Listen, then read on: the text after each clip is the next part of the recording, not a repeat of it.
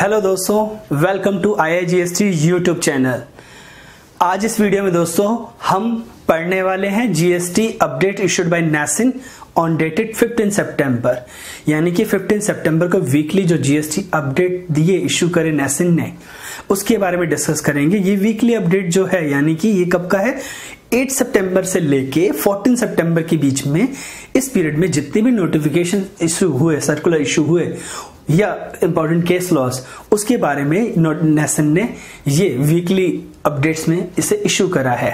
तो दोस्तों, इस वीक के अंदर nine notifications and three circulars issued तो चलिए दोस्तों, इन नोटिफिकेशन सर्कुलर्स के बारे में पढ़ते हैं। तो दोस्तों, सबसे पहला नोटिफिकेशन है नोटिफिकेशन नंबर 43 बाय 2018 जो कि इशू हुआ टेंथ सितंबर 2018 को। And this is regarding time limit for filing GSTR one extended for tax payer turnover less than 1.5 crore आपको पता है दोस्तों 1.5 करोड़ से जिसकी एनुअल टर्नओवर कम है, उस टैक्स पेयर के पास जीएसटी में ऑप्शन है they can file quarterly return also तो उनके लिए नोटिफिकेशन आया और उनको बोला गया, क्योंकि दोस्तों यहाँ पे कंसर्न था जीएसटी काउंसिल में भी है उससे पहले भी, और न्यूज़पेपर में भी स्टेटमेंट आया कि जितनी थ्री फ़ाइल हुई लास्ट ईयर में, उसके कंपेरेटिव में जीएसटीआर वन जो है कम फ़ाइल हुए हैं। तो गवर्नमेंट चाहती है कि वो लोग जीएसटीआर वन भी फ़ाइल करें। प्लस दूसरा दोस्तों, कुछ टाइम अभी, इससे पहले भी नोटिफिकेशंस में सितंबर में ही गवर्नमेंट ने GST annual returns GST audit nine A GST N nine का part A part B part C release कर दिया। अब उसके अंदर जो इंफॉर्मेशन जो क्रॉस चेकिंग होनी है, वो टू ए डेटा के बेसिस पे होनी है और टू ए का डेटा दोस्तों, जो रेडी होगा वो जीएसटी आर वन के बेसिस पे रेडी होगा। तो यानी कि इंपॉर्टेंट है कि गवर्नमेंट जीएसटी आर वन पे फ़ाइल कराए। इसलिए गवर्नमेंट ने इस नोटिफिकेशन में लास्ट ईयर के जितनी भी जीएसटी आर वन पेंडिंग है उनके लिए डेट एक्सटेंड कर दी है यानी कि अब अगर किसी टैक्स पेयर ने लास्ट ईयर की जीएसटी आर वन फ़ाइल नहीं करी है they can file without paying any penalty क्या है दोस्तों नोटिफिकेशन ये कहता है कि for tax payer up to turnover less up to 1.5 crore limit for filing GST GST R one for quarter quarter कब से ले रहे देखिए जुलाई टू सितंबर उसके बाद अक्टूबर टू दिसंबर जनवरी टू मार्च 18 तक का इसके लिए इन पीरियड्स इन क्वार्टर्स की return GST R one they can file up to thirty first October अप्रैल से लेके जून तक की दोस्तों जीएसटी आर वन जो कि अप्रैल टू जून 2018 की बात कर रहा हूँ। इसकी ड्यू डेट क्या है दोस्तों? थर्टी फ़र्स्ट जुलाई वो वही है। इन्होंने लास्ट ईयर की जितनी भी जीएसटी आर वन है क्वार्टरली वाली, उसकी डेट एक्सटेंड करके क्या कर दिया thirty first October so tax payer can pay file return without payment of any penalty interest and penalty इसके बाद दोस्तों नेक्स्ट जो नोटिफिकेशन है, जो कि नोटिफिकेशन 44 बाय 2018 ये भी टेंथ सितंबर को इशू करी गई। ये दूसरा पार्ट है दोस्तों, इस डेट एक्सटेंड करने का जीएसटीआर वन डेट एक्सटेंड करने का। पहले डेट एक्सटेंड किसके लिए करी? जिनकी टर्नओवर लेस देन 1.5 करोड़ थी। अब इन्होंने एक्सटेंड करा है किसके लिए? जिनकी टर्नओवर 1.5 करोड़ से ज़्यादा की है। इसके अंदर दोस्तों डेट जो एक्सटेंड करी गई है, यानी कि मंथली जो जीएसटी आर वन फ़ाइल करते हैं, उनके लिए डेट एक्सटेंड करी गई है। और ये किस पीरियड के लिए? जुलाई 2017 से लेके सितंबर 2018 तक, यानी कि शुरू से लेके अब भी सितंबर तक की भी जो मंथली टैक्स पेयर हैं, जिन्होंने जीएसटी आर वन फ़ाइल नहीं करा है वो रिटर्न फ़ाइल कर सकते हैं विदाउट पेमेंट ऑफ़ टैक्स इस नोटिफिकेशन में दोस्तों, एक चीज़ और ऐड कर देखिए, यानी कि क्वार्टरली वाले में मार्च तक की बात करेगी है मंथली वाले में सितंबर तक की रिटर्न की डेट एक्सटेंड करेगी है। So it is clear quarterly वालों के लिए डेट एक्सटेंड करेगी इन्होंने। मार्च 18 के लिए इकतीस अक्टूबर और यहाँ पे जिनकी टर्नओवर डेढ़ करोड़ से ज़्यादा है, जो कि मंथली रिटर्न फ़ाइल करते हैं, वो जुलाई से लेकर सितंबर तक की return they can file up to thirty first October July two thousand 18 तक, यानी कि जनवरी जुलाई 17 से सितंबर 18 इसके बाद दोस्तों, इसमें और एक और चीज़ ऐड करी गई है। याद है दोस्तों, थोड़ा दिनों पहले एक और नोटिफिकेशन आया which is thirty by one by two जो कि किसके लिए था? जो ट्रांजिशन में जिन्होंने, जिनके पास माइग्रेशन आईडी आया बट उन्होंने जीएसटी में माइग्रेट नहीं हो पाए माइग्रेशन नहीं करवा पाए, उनका जीएसटी एक्टिवेट नहीं हो पाया, उनकी प्रोविजनल आईडी आइडल रह गई। उनके लिए ऑप्शन दिया गवर्नमेंट ने इस नोटिफिकेशन में कि आप अपने ये एप्लीकेशन बना आप अपने जुडिशियल ऑफिसर को सबमिट करिए और उसके बाद जो भी प्रोसीजर जो जो नोटिफिकेशन में लिखा हुआ है, उसके अंदर फॉलो करके आपका रजिस्ट्रेशन ग्रांट हो जाएगा। और ऐसे अगर टैक्स पेयर हैं, जो ऐसा रजिस्ट्रेशन अब लेंगे इस नोटिफिकेशन के थ्रू थर्टी फन थर्टी फ़र्स्ट बाई 2018 के अकॉर्डिंग अगर रजिस्ट्रेशन लेंगे तो उनके लिए यहाँ पे जीएसटी आर वन फाइलिंग में भी रिलैक्सेशन दी गई है। उनके लिए क्या बोला गया कि वो जुलाई 17 से लेके नवंबर 18 तक की जो रिटर्न है, वो कब तक फ़ाइल कर सकते हैं दोस्तों? थर्टी फ़र्स्ट दिसंबर 2018 तक फ़ाइल कर सकते हैं। इनके लिए, उनके लिए और दो महीने और एक्सटेंड कर दी गई है डेट अब दोस्तों, इसके बाद जो नेक्स्ट नोटिफिकेशन है वो कौन सी है? नोटिफिकेशन नंबर 45 बाई 2018 अब यहाँ से जो हमने दो नोटिफिकेशन देखी जीएसटीआर वन की। अब नोटिफिकेशन ये जो थर्ड नोटिफिकेशन है, वो है किसकी? जीएसटीआर थ्री बी की। जीएसटीआर थ्री बी की भी डेट दोस्तों इन्होंने एक्सटेंड करी डेट एक्सटेंड करी है। किसके लिए? दे देखते हैं नोटिफिकेशन बताता है। कहता है कि proviso inserted in notification number two twenty one by two thousand seventeen 8 सितंबर 2017 ये नोटिफिकेशन में ऐड करा गया। क्या ऐड करा गया है? For tax payer whose has opted registration under notification by 31st by 2018 they can file GST R 3 B for July 17 to November 18 to be furnished furnished by 31st December 2018 यानी कि वही जो मैंने अभी बोला, वो स्पेशल टैक्स पेयर जिन्होंने migration migrate नहीं कराया, जिनके लिए अभी thirty first by two notification आया है, उनके लिए जीएसटी आर वन की डेट भी क्या है? थर्टी फ़र्स्ट दिसंबर कब तक की? नवंबर 18 तक की पीरियड की। और उनके लिए जीएसटी थ्री बी की भी जो टाइम लिमिट है, वो भी एक्सटेंड करके कब से? जुलाई से लेके नवंबर 18 तक की थ्री बी ये कब तक फ़ाइल कर सकते हैं? Thirty first December without paying any interest and penalty.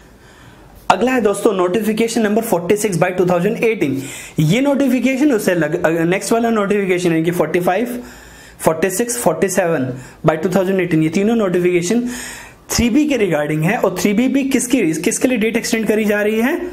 Special tax payer जो कि, जिन्होंने ट्रांजिशन में माइग्रेशन नहीं करवाया था, वो माइग्रेट कराते उनके लिए है। ये तीनों नोटिफिकेशन ये तीनों, तीन नोटिफिकेशन अलग अलग जो डेट्स एक्सटेंड हुई थी, उन सब के लिए थी, उसको ये सुपरसीड कर रही है नोटिफिकेशन इस 30 बाई टू वाले टैक्स पेयर जो रजिस्टर्ड अभी होंगे उनके लिए। तो मैं इनको स्किप कर देता हूँ दोस्तों। मैं नेक्स्ट पे आता हूँ।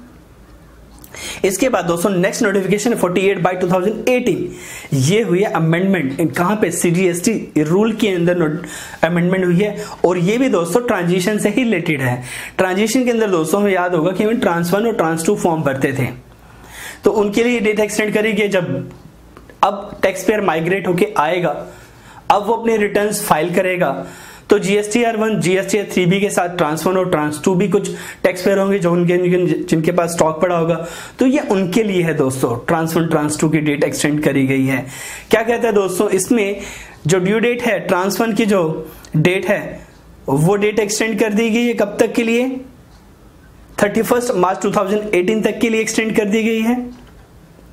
और सिमिलरली ट्रांस टू के लिए जो डेट एक्सटेंड कर दी गई है, वो उससे एक ट्रांसफ़र की डेट से एक मंथ आफ्टर यानी कि थर्टी अप्रैल 2019 डेट एक्सटेंड करी गई है। तो अब अगर किसी का नॉर्मल का भी किसी का अगर ट्रांजिशन का क्रेडिट अगर रह रहा है तो वो अभी भी ट्रांसफ़र फ़ाइल करके अवेल कर सकता है यूटिलाइज कर सकता है ट्रांस टू फ़ाइल करके।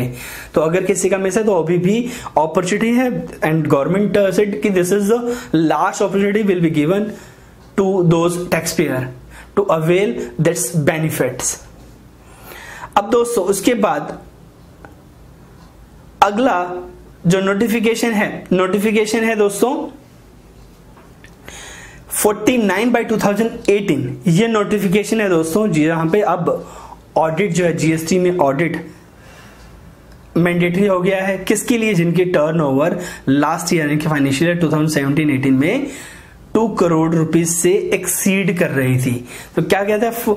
Form nine C notified form nine C is an reconciliation statement to be submitted by every registered person whose turnover exceed two crore rupees my opinion in this matter कि, यानी कि इस nine सी form reconciliation, जो कि CA या CMA इसको audit करेगा और हमें अपनी एनुअल रिटर्न के साथ लगाना होगा।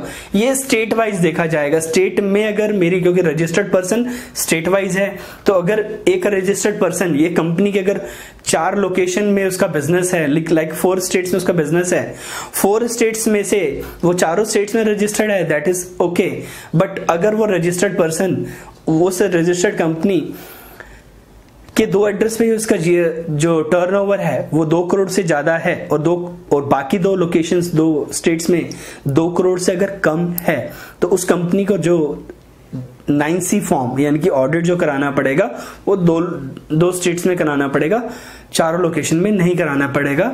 ये ऐसा है। इसका फॉर्म 209 सी आ चुका है।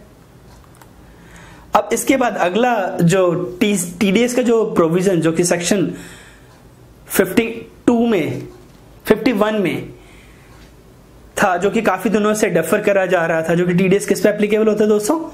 गवर्नमेंट बॉडीज पे एप्लीकेबल होता है। उनको ढाई लाख से ज़्यादा का अगर कोई कॉन्ट्रैक्ट वैल्यू है तो उस पे वेंडर को जो पेमेंट करेंगे, उस पे जो जीएसटी का अमाउंट है एज अ रेट कितना?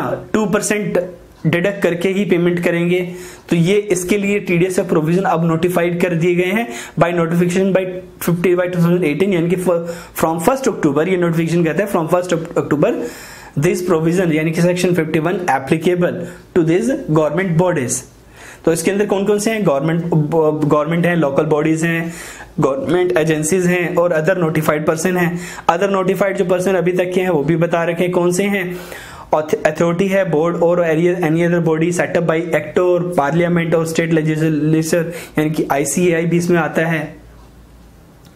पब्लिक सेक्टर सेक्टर अंडरटेकिंग वो भी किसमें आ जाएँगे? गवर्नमेंट बॉडी यानी सेक्शन 51 में, वो उन्हें कंप्लायंस करना पड़ेगा।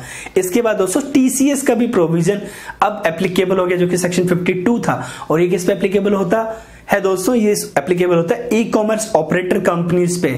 जो ई कॉमर्स ऑपरेटर कंपनीज़ हैं। अब यानी कि फ्लिपकार्ट एमेजोन इन कंपनीज़ को अब क्या करना होगा? इस सेक्शन के अकॉर्डिंग कंप्लाई करते हुए टीडीसीए से डिडक्ट करके डिपॉजिट कराना होगा। इसके बाद सर्कुलर नोटिफिकेशन कंप्लीट हो गए दोस्तों। इसके बाद सर्कुलर हुए। पहला जो सर्कुलर है, बहुत इंपॉर्टेंट बहुत दिनों से बहुत पेंडिंग एक डिबेटेबल इश्यू चल रहा था। क्या था वो? प्रायोरिटी सेक्टर लैंडिंग सर्टिफिकेट के रिगार्डिंग ये बैंकिंग में होता है दोस्तों। ये अगर आप समझेंगे तो ये आरबीआई की कुछ प्रायोरिटी सेक्टर्स हैं लाइक एग्रीकल्चर्स और माइक्रो फाइनेंस माइक्रो इंडस्ट्रीज़ और फार्मर से रिलेटेड जो सेक्टर्स हैं, उनके लिए ये होता है, इनको आरबीआई इसको प्रायोरिटी सेक्टर लैंडिंग बोलता है। इसके लिए सर्टिफिकेट इश्यू करता है, जो कि आपको आरबीआई के ई कुबेर ऐप पे भी इसकी ऑप्शन मिल जाएगी। ये ऑप्शन के थ्रू बैंक परचेज करते हैं। इसको पहले ये सिक्योरिटी माने या नहीं माने, इस पे भी, इस पे डिबेट था जो कि बाद में क्लैरिफाई भी करा गया था सर्कुलर के थ्रू जीएसटी डिपार्टमेंट ने कि ये सिक्योरिटी में नहीं आता है। तो इसके ऊपर जीएसटी क्या लगेगा? किस सेक्शन में लगेगा? या गुड्स है सर्विसेज़ है, किसमें फॉल करेगा? इसको लेके काफ़ी ज़्यादा इश्यूज़ थे। यहाँ पर इन्होंने इसको क्लैरिफाई कर दिया है। इसको बोल दिया है कि ये क्या रहेगा? इसको सप्लाई मानेंगे और फॉरवर्डिंग चार्जेस बेसिस पे यहाँ पे जीएसटी जो लगेगा 12 परसेंट लगेगा। और ये कब से लगेगा दोस्तों? सिंस बिगनिंग यानी कि फ़र्स्ट जुलाई 2017 से लेके twenty fifth twenty seventh May 2018 तक के लिए उन्होंने बताया कि 12 परसेंट का रेट लगेगा लगेगा यहाँ पे। यानी कि जिन्होंने नहीं पे करा था, उन्हें पे करना होगा।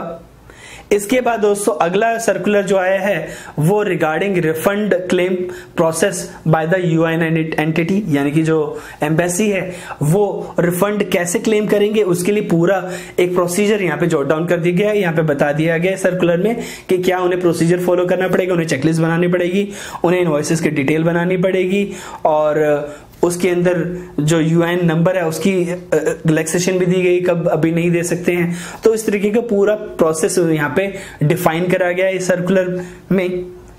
और इसके बाद अगला जो सर्कुलर है, वो सर्कुलर है ईवे बिल से रिलेटेड दोस्तों। बहुत इंपॉर्टेंट ये सर्कुलर इश्यू करा गया है। ये किस रिगार्डिंग था, दोस्तों? बहुत सारे केसेस लो ईवे बिल के अंदर आने लगे थे ऐसे जहाँ पे एक तरीके का अंडी हरासमेंट हो रहा था एसएससी के ऊपर कि छोटी छोटी गलतियों पे ईवे बिल के डॉक्यूमेंट्स में छोटी छोटी गलतियों को लेके भी उनको पैनलाइज कर रहा जा, जा रहा था। तो यहाँ पे अब डिपार्टमेंट ने उसको क्लैरिफाई कर दिया इवन जहाँ पे कोर्ट ने भी हाई कोर्ट ने भी इंटरवीन करा था और अपने जजमेंट दिए थे।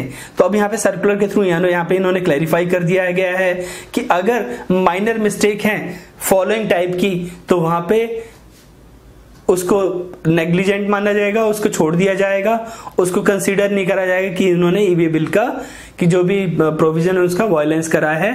तो जैसे कि अगर कोई स्पेलिंग मिस्टेक हो जाती है कंसाइनर कंसाइनी के नाम में, या पिन कोड में कई डिफरेंस आ जाता है बट पिन कोड ऐसा होना चाहिए कि भाई, अगर पिन कोड एरर है भी बट उससे जो डिस्टेंस का किलोमीटर है, वो चेंज नहीं हो रहा हो। और इसके अलावा अगर बिल नंबर में एक या दो डिजिट का मिस्टेक है, वो कंसाइनर के एड्रेस में या एच एस एन कोड में कुछ थोड़ा बहुत चेंजेस है। तो या रेट वही रहना चाहिए बट जीएसटी का रेट वही रहना चाहिए। तो उस केस में दोस्तों, अब इन्होंने पेनल्टी का जो है 40 परसेंट की जगह यहाँ पे कितना कह दिया गया फाइव हंड्रेड रुपीज़ कह दिया गया है। सीजीएसटी एक्ट अंदर, और five hundred under S G S T one thousand rupees ऐसे केसेस में पेनल्टी लगेगी। और इसकी आगे डिटेल देने, कैसे डिटेल देगा ऑफिसर्स डिपार्टमेंट को उसके बारे में प्रोसीजर बताया गया है। इसके बाद दोस्तों जीएसटी पोर्टल की एक अपडेट्स भी आई है नहीं अब पहले हम जीएसटी किसी का अगर हमें वैलिडेट करना है तो हम जीएसटी पोर्टल पे जाके प्री लॉगिन या पोस्ट लॉगिन हम वहाँ पे जीएसटीएन नंबर डाल के उस वेंडर की डिटेल को वैलिडेट कर सकते हैं। अब इस डिटेल को आप इन एडिशन टू दैट अगर आप पैन बेसिस पे भी चेक करना चाहते हैं तो अब जीएसटी पोर्टल पे आप एसएससी का पैन नंबर डाल के भी चेक कर सकते हैं whether he is registered under GST or not और वेन ही इज़ रजिस्टर्ड तो उस केस में उसकी डिटेल्स क्या क्या है, उसको भी आप वहाँ से क्रॉस वेरीफाई करके या ले सकते हैं, देख सकते हैं उसे। इसके अलावा एक और जीएसटी पोर्टल पे अमेंडमेंट आया है। पहले non core core field normal tax payer के लिए थी। अब इसके अलावा इन एडिशन टू दैट जो कि हमारे नॉन रेजिडेंट टैक्स पेयर हैं या ओ आई जो कि ऑनलाइन सर्विसेज़ वाले हैं टीडीएस या टीसीएस टैक्स पेयर वाले भी अब अपनी अगर नॉन कोर फ़ील्ड को चेंज करना चाहते हैं ऑनलाइन पोर्टल पे तो वो अब फंक्शनैलिटी अवेलेबल है, वो कर सकते हैं। अब इसके बाद दोस्तों लीगल अपडेट की बारी आती है। लीगल अपडेट लीगल अपडेट में इस बार जो केस नेसन ने दिया है, वो दिया है Filco trade centre private limited versus union of India इसके अंदर दोस्तों, क्या था? यहाँ पे कंपनी ने कोर्ट में, गुजरात हाई कोर्ट में केस डाला। कि वो फ़र्स्ट एज डीलर है। और फ़र्स्ट एज डीलर के लिए अंडर ट्रांजिशन प्रोविज़न अगर उसके पास कोई पुराना स्टॉक पड़ा हुआ है तो उसका वो क्रेडिट ले सकता है but that stock not more than one year old एक साल से पुराना नहीं होना चाहिए। ऐसा सेक्शन ट्रांजिशन प्रोविज़न सेक्शन 140 में दिया गया है। अब इसको लेके कंपनी ने, गुजरात हाईकोर्ट में केस डाला कि उनके पास एक साल से ज़्यादा भी स्टॉक पुराना पड़ा था due to nature of business उनका बिज़नेस था बेरिंग का, जो मोटर पार्ट्स में आता है, जहाँ पे उसकी लाइफ साइकिल बहुत ज़्यादा होती है और उसके पास इतना सफिशिएंट स्टॉक पड़ा रहते, रखते हैं लोग कि उसका जो लाइफ साइकिल है, वो भी ज़्यादा, उसकी जो सेलिंग साइकिल है, वो भी एक साल से ज़्यादा की है। तो यहाँ पे कंपनी ने केस डाला कि उन्हें ये जो एक साल का जो पीरियड है, वो गलत है, इसमें उन्हें रिलैक्सेशन दी जानी चाहिए। उसके लिए हाई कोर्ट ने इसको एडमिट भी करा, एक्सेप्ट भी करा है, और इसका जजमेंट को अभी उन्होंने थर्टी अक्टूबर तक के लिए होल्ड कर रखा है, स्टे कर